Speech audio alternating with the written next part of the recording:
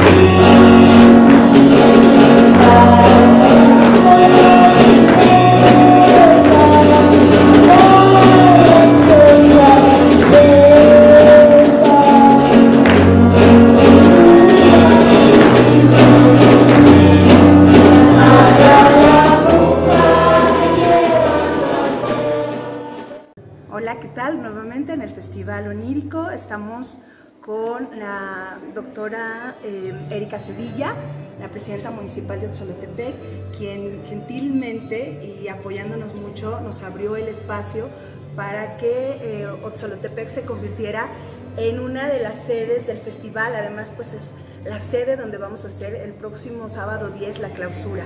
Y también está el licenciado Raimundo Olivares, el director de cultura de Otzolotepec, con quien he estado ahí detrás de él, tocando puertas, persiguiéndolo, para que eh, todo lo relacionado al evento, toda la logística, pues se pueda suceder. Y hoy pues nos acompañaron en la inauguración. Pues muy contentos en estar en este festival onírico. La verdad es que el derecho a la cultura es un derecho de todos y Otzolotepec eh, queremos estar participando en estos eventos. Eh, gracias por esta invitación. La verdad es que hoy en esta inauguración lo disfrutamos mucho. Me dio mucho gusto poder ver a nuestros jóvenes, a nuestros niños. Eh, cantando en nuestra lengua, materna, tocando instrumentos. Eh, y una danza que también hoy estamos conjuntando eh, todos nuestros niños, nuestros jóvenes, preservando nuestra cultura, orgullosos de nuestra identidad y de nuestra cultura y sobre todo felicitando por estos trabajos que son inclusivos. La verdad es que eh, Otzolotepec estamos muy disponibles y gracias por tomarnos en cuenta, gracias por estar el, próximo sábado en nuestro municipio y poder eh, difundir y transmitir y compartir la cultura de lo que se viene haciendo aquí en nuestro Estado de México. Muchas gracias. La realidad es que es, es todo un acontecimiento también el generar las condiciones para la exposición del arte, ya lo decía nuestra presidente municipal, nosotros estamos muy apegados al derecho universal a la cultura, una cultura gratuita para todos los otzolotepenses y lo que se busca es sobre todo eh, fomentar estos espacios culturales de exposición del arte.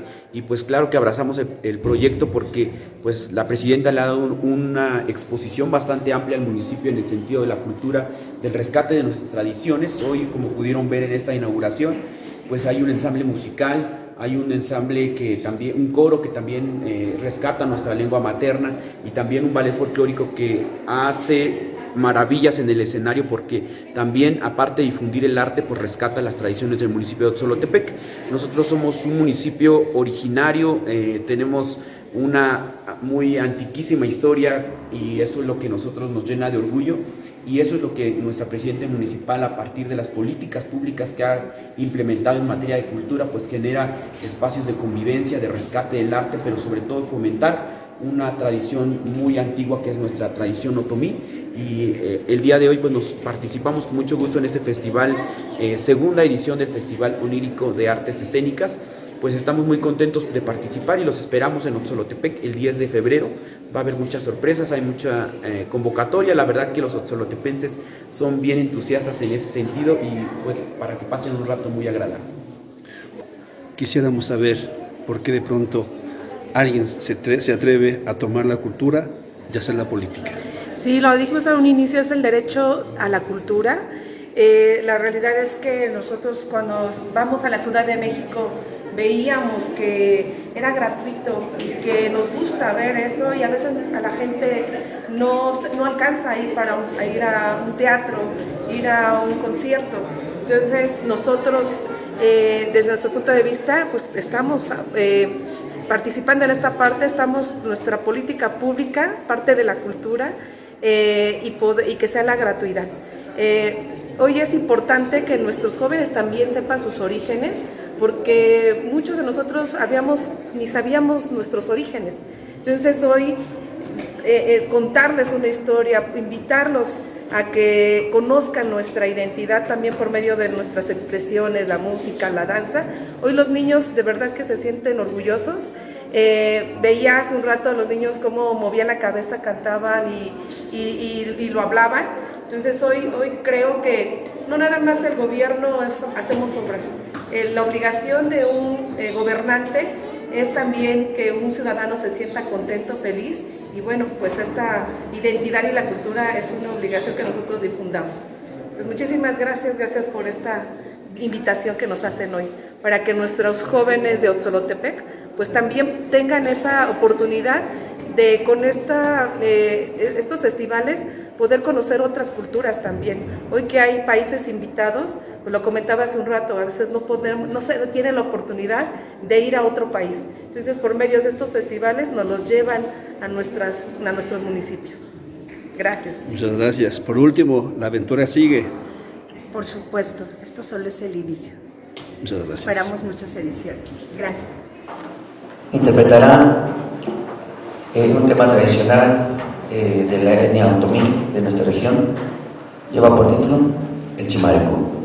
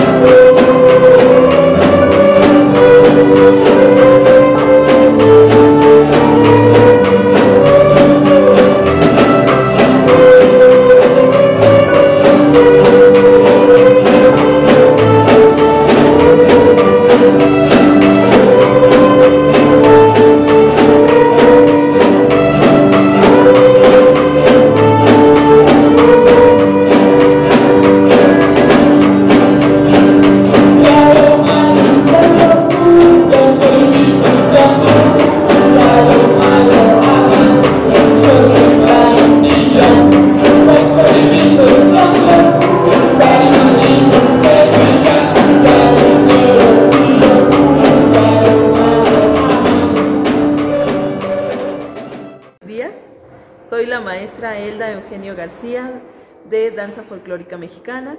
Este, en este momento me encuentro colaborando con las chicas del grupo del Ballet Folclórico Ocelot de Casa de Cultura del Ayuntamiento de Otzolotepec. En esta ocasión venimos a presentar eh, unos bonitos cuadros con el ensamble de música de la misma Casa de Cultura de Otzolotepec. Venimos a participar a este evento que se llama Un Lírico. Eh, actualmente pues nos hemos presentado en varias en, en, varios foros, en, en, varios escenarios y este pues hacemos la, la remembranza de, este evento que hemos de participar el día de hoy. ¿Qué tal? Eh, mi nombre es Daniel Rosales Galicia, estoy acompañado de mis compañeros Diego de Jesús Alvarado Carrillo y, y Braulio Artemio Velázquez Bernal. Y bueno, pues eh, tenemos a nuestro cargo eh, dirigir el ensamble de Casa de Cultura de Otzolotepec. Está conformado pues, eh, por niños de diferentes edades y de diferentes comunidades del municipio. y bueno, pues estamos manejando lo que es el rescate, difusión y este, conservación de la lengua otomí a través de la música. Es lo que se le está enseñando a los muchachos. En el caso del profe Diego pues está este, interpretando canciones de música tradicional. Sí, de música otomí a cargo del el violín. Entonces yo me encargo de enseñarle a lo que son a las alumnas la técnica tradicional a la vez de lo que es la técnica eh, clásica para poder tener una buena postura lo que es en el violín y poderlo ejecutar de una manera correcta. Sí, y, el, y mi, eh, mi compañero profe Braulio está encargado de la parte eh, musical con, pues, con los muchachos que vienen de... Tenemos alumnos del centro de Villa, de los alrededores y de la comunidad de Santa Ana Gilotzingo. Tenemos eh, clases de teclado, de guitarra, percusiones, acordeón y bueno, los que se, puedan sumar también tenemos algunos metales, nada más que eh, todavía está abierta la invitación porque aún no tenemos alumnos en, ese, en esa rama. Tenemos también el coro, el coro está concentrado en, en la cabecera municipal en Casa de Cultura de Villa, para todos los que quieran asistir, están invitados. Y el coro Tomí, que, que trabajo con un servidor. Ajá, el coro Tomí, el coro Tomí de Otzolotepec está, eh, tiene su sede en Santa Ana, Gilotzingo. Y eh, bueno, pues ahí también estamos esperando a que pues se una la, gente, la invitación está abierta y todo esto, todo este trabajo es eh, pues gracias a la, administración de la presidenta municipal, eh, la doctora Erika Sevilla, pues está abriendo todos estos espacios para que los niños y la cultura pues vayan de la mano y es pues el trabajo que estamos realizando como Casa de Cultura de Otzolotepec. La importancia de participar en esos eventos, un evento organizado por la maestra Elizabeth Hernández, que además es eh, internacional por la participación de otros países. ¿En qué forma impacta a ustedes como municipio, a ustedes como educadores? Eh, pues primeramente es un, es un foro muy importante para los, para los alumnos, para los niños, que en este caso pues son los artistas. Eh, participar en este tipo de foros es importante, les da mucha eh, pues, proyección, les da confianza y les, les permite, les permite pues, eh, tener esas tablas que requiere un artista. Y en cuanto pues, a la importancia, no sé si me pueda platicar algo mi compañero Diego. Sí, en cuanto a la importancia, es, radica principalmente en que nosotros como profesores estamos a cargo de la responsabilidad de poderles enseñar, pero así también que ellos mismos se den cuenta de que sus propias tradiciones también son visibles hacia otros lados y viceversa, ¿no? También las tradiciones musicales y culturales de, otros, de otras regiones y de otros países también son importantes para que ellos y ellas puedan conocerlas, puedan saber y puedan así sentirse orgullosos para poder ahora sí poder representar dignamente lo que, pues lo que nos compete, ¿no? Desde nuestra propia trinchera. Sí, yo creo que es importante también eh, rescatar esta, estas tradiciones que se van perdiendo y muchas veces hasta caemos en que nos da pena, ¿no? Eh, creer que, que, eh, venir de estas raíces es, es algo malo, cuando no es todo lo contrario. Es una riqueza muy, muy importante que, bueno, tenemos aquí el, eh, el cargo de rescatar. Muchas gracias.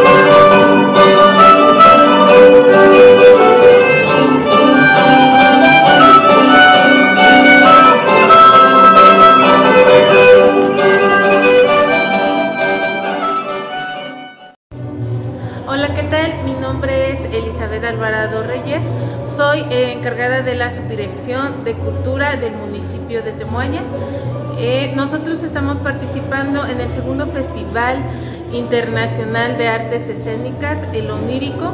Eh, nosotros somos sede también de este bonito festival. Nosotros abrimos en el municipio de, de Temoaya, gracias a los trabajos que ha hecho nuestra presidenta, la licenciada Nelly Rivera. Estaremos este, teniendo eh, dos eventos muy importantes el día 3 y 4 de febrero en Casa de Cultura 2 de marzo y también en las escalinatas que nuestra presidenta acaba de inaugurar. Son eventos totalmente gratuitos, eventos de danza, de teatro, de música, para que cada uno de ustedes asista, son totalmente gratuitos como lo comenté, asistan eh, con familia, con sus amigos, este, en compañía de sus seres queridos. Son eventos que realmente nosotros hacemos o hacemos la gestión en conjunto con la maestra Elizabeth Hernández para su difusión. Son eventos eh, internacionales de, eh, calidad, eh, son países que vamos a tener en nuestro municipio, por ejemplo, Cuba, Colombia, Venezuela, Haití, en cada uno de sus ramos de teatro y de danza. Gracias a las gestiones que hace nuestra presidenta municipal, el municipio de Temoaya este, se ha levantado constantemente. Fue un municipio anteriormente un poquito abandonado en cuestiones de, cultura, más que nada porque el municipio de Temoaya es una de la cultura otomí. Entonces, gracias a las gestiones de nuestra presidenta, el municipio de Temoaya ha crecido constantemente en tema cultural, no solamente en la tradicional, sino en la cultura de folclore y de otro tipo de artes. Y es lo que, bueno, nuestra presidenta nos, nos ayuda y ayuda a estos grupos también para darse a conocer a otros estados, a otros municipios y, ¿por qué no, a otros países. Thank you.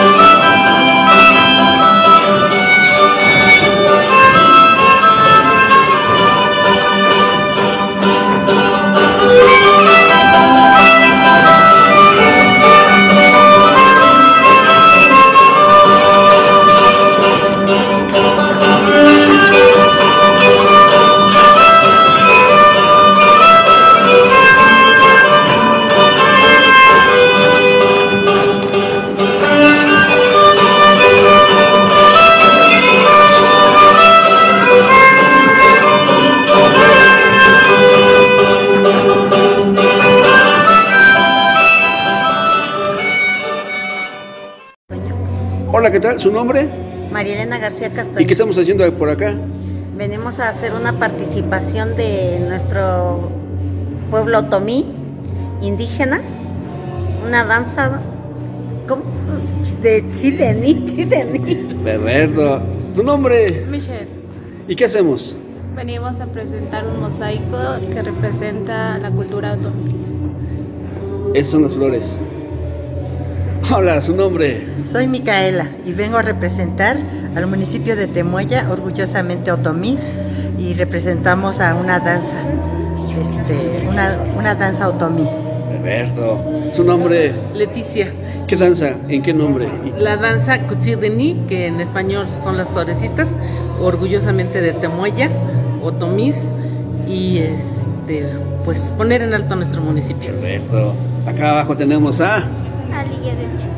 ¿Cómo te llamas? Ali Yaretsi. ¿Y qué haces? Vengo a bailar.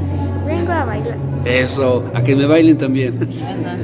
Hola, su nombre. Buenas tardes, señor. Mi nombre es Justina Carrillo Galeana y represento al municipio de Temoaya y el, las, al grupo de danza Cuchideni. Yo preguntaba que cuál, qué es lo que, que, hace tradicional o hace diferente a este municipio, cuáles son sus representaciones, eh, no sé. Pues por ejemplo la vestimenta eh, que, que, es el chincuete, la faja, el rebozo la este, y, la, y la blusa y el, y el lenguaje otomí. Gracias. ¿Su nombre?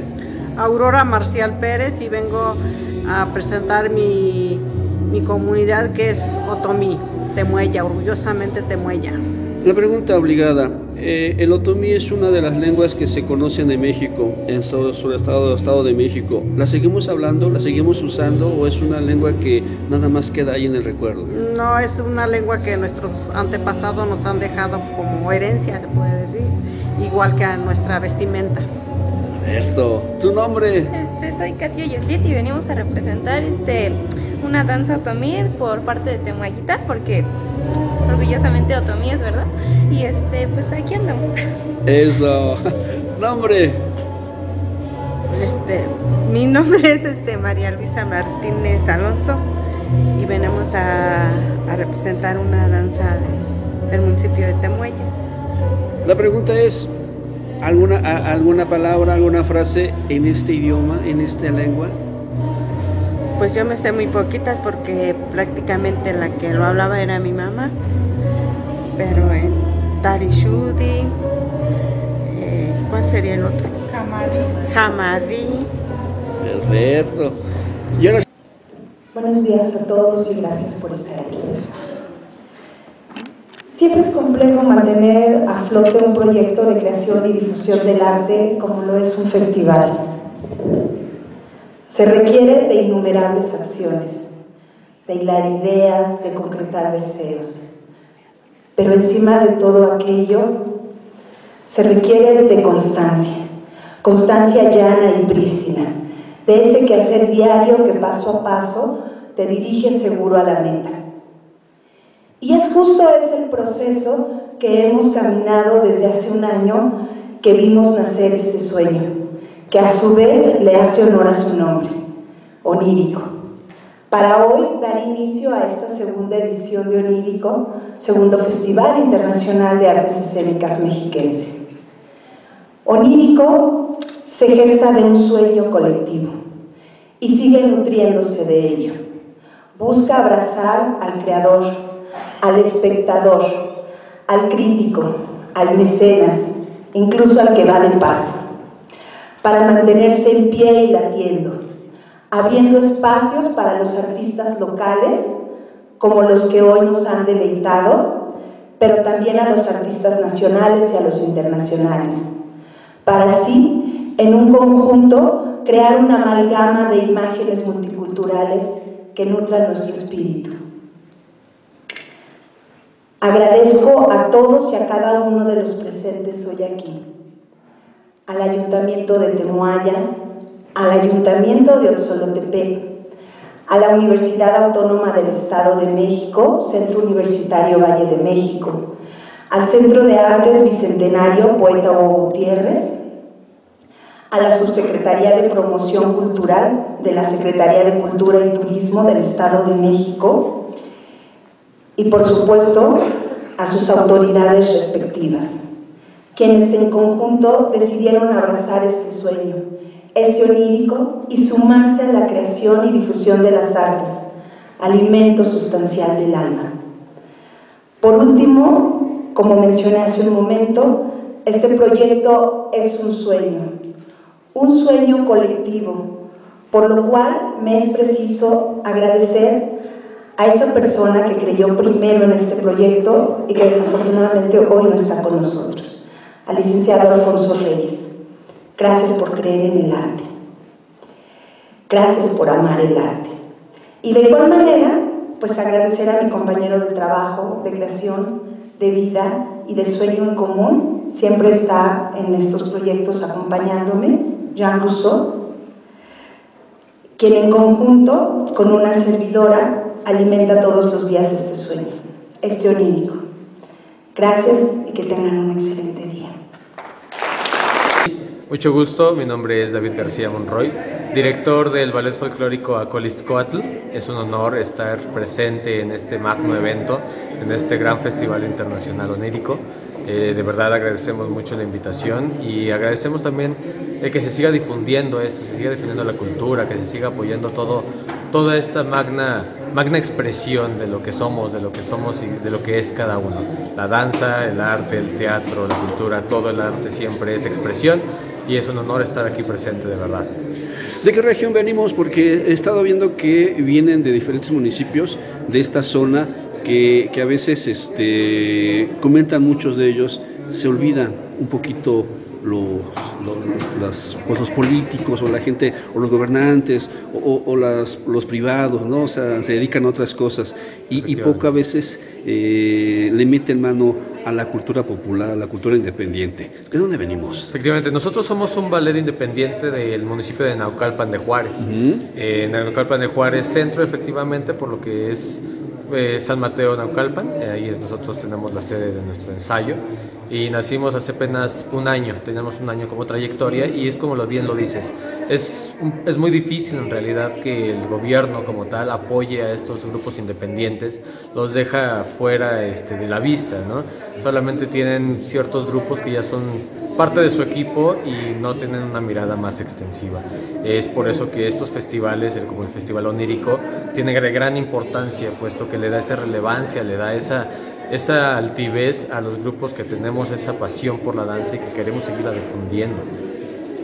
¿Cómo lo hicimos para llegar hasta aquí? Me decía la maestra este, Elizabeth, Elizabeth, pregúntales porque veas que, que a veces nos topamos en el camino. Efectivamente, eh, tuve el gran honor de conocer a la maestra Elizabeth por eh, un amigo mío ya de muchos años, que es el maestro José Guadalupe Jiménez. Eh, somos organizadores del festival Mitotia y Canellolo. El año pasado, en el mes de noviembre, tuvimos nuestra primera edición. Este año, primero Dios, vamos a tener la segunda, a las cuales también hacemos la invitación extensa a todos los grupos y ballets independientes que nos puedan ver durante esta gran entrevista que nos están haciendo el favor, para que pues, estén atentos a la convocatoria. Dicho evento, en, es, en esta situación, en, es, en este eh, festival Mitotia y Canillolo, el profesor José Guadalupe me menciona que hay una profesora, la maestra Elizabeth, que está interesada en que la compañía Gran Danza Carballo, que viene desde, directamente desde Cuba, uh -huh. pueda participar en este, en este festival. Lo que nosotros dijimos, por supuesto, claro que sí, bienvenidos. Eh, estos festivales son para eso, para darles apertura a todos los ballets que quieran, quieran participar. Tuvimos el, el gran honor de conocer al director del Gran, Danza, del Gran Danza Carballo y la, desde ahí la maestra Elizabeth y un servidor hemos estado en contacto exactamente para todos estos tipos de eventos, ¿no? para todos estos eventos en donde nos dicen hay un festival, ven, vamos, te invito, hay, eh, igualmente de mi parte, hay otro festival, otra presentación, vamos, te invito, qué agrupaciones están disponibles, qué agrupaciones pueden participar y para eso mismo eso, son estas, estas expresiones. Así es como el Ballet Acoliscoatl llegó aquí, llegó aquí a Onírico, gracias a la maestra Elizabeth por su apoyo, ya que nos, nos invita a la inauguración y obviamente nosotros pidiéndole el apoyo de poder participar, ella con los brazos abiertos nos dio un lugar aquí en México. Así.